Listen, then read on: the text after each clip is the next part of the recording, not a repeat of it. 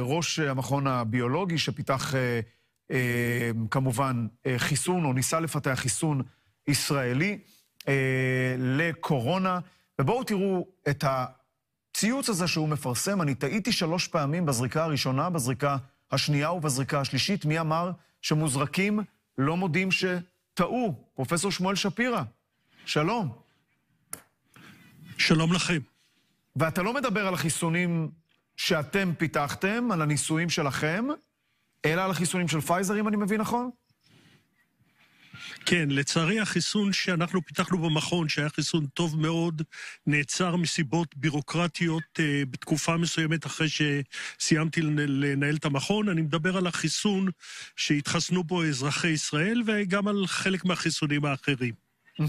עכשיו, אני רוצה לשאול אותך, אבל אתה יודע, החיסון הזה הציל כנראה את חייהם של אולי מאות מיליוני בני אדם, עשרות מיליוני בני אדם בעולם. כאן בישראל כולנו חיים בשגרה, ברוך השם, נורמלית.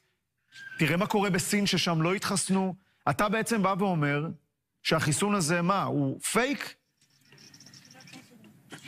לא, אני לא אומר לגמרי שהחיסון הזה הוא פייק, אבל אני בספק גדול אם אפשר להתייחס אה, לשם חיסון בקשר אליו, ואני מציע מאוד להיזהר ממה שאמרו, ממה שאומרים שהחיסון הציל הרבה חיים בארץ, מה שקורה בסין זה חלק מזה אגדות, חלק מזה זה פרופוגנדה.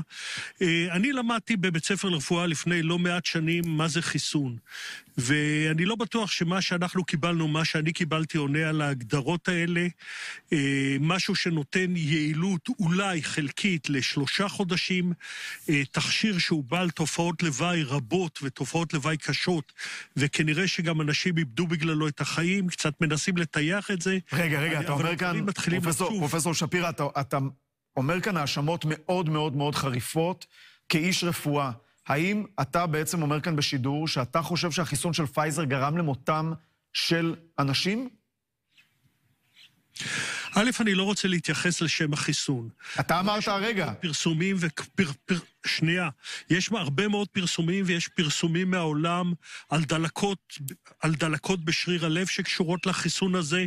דלקות בשריר הלב זה לפעמים מחלה קטלנית, זה דבר שפוגע בצעירים, יש מחלות נוירולוגיות קשות, וכנראה, כנראה, אני אומר את זה בזהירות רבה, כי הדברים הם באמת, בתחילת הפרסום שלהם, ייתכן והוא מעלה שכיחות של מקרי סרטן מסוימים. שוב, הדברים האלה... תשמע, אתה, אתה אומר, אתה יודע, זהירות רבה, אתה משתמש במונח זהירות רבה, אבל בסוף כשמדובר בפרופסור כמוך, שעמד בראש אחד המכונים החשובים בישראל, אתה יודע מה המשמעות של זה. שעכשיו צופים בנו הרבה מאוד מתנגדי חיסונים, גנריים, אגב, לא רק לחיסון הזה של פייזר, ומבחינתם הם קיבלו את הסטמפה לזה שמדינת ישראל חיסנה אותם שלא לצורך או סיכנה את בריאותם. זה מה שעולה מהדברים שלך ומהציוץ שלך. אתה עומד מאחורי הדברים האלה, פרופסור? אז... אז אני אחדד את הדברים שלי. א', אני לא מתנגד חיסונים, אני במשך החיים שלי חוסנתי בהרבה מאוד חיסונים. ואתה מביע חרטה על זה שהתחסנת בחיסון הזה.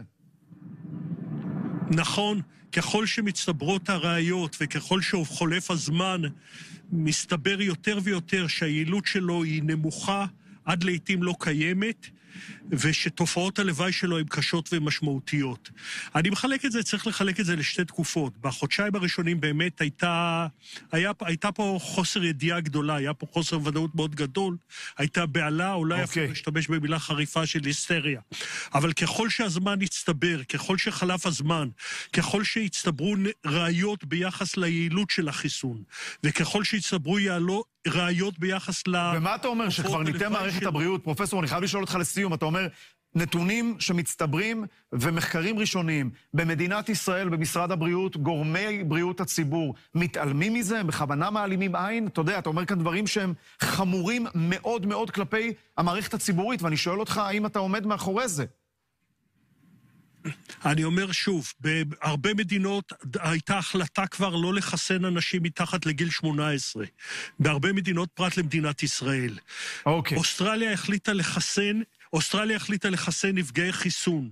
שווייץ היום, בשווייץ יש uh, התאגדות המונית נגד החיסונים, ולכן השאלה מה אנחנו צריכים לעשות בישראל. לדעתי אנחנו בישראל צריכים לעשות, לעצור, להפסיק רגע עם האגו, לקרוא ספרות מדעית, להחליט, להקים ועדה בלתי תלויה של אנשים אחרים שלא מעור... היו מעורבים בחיסון הזה, ולבחון ולהחליט מה עושים הלאה. פרופסור אה, שמואל שפירא, תודה רבה ששוחחת איתנו. תודה לכם.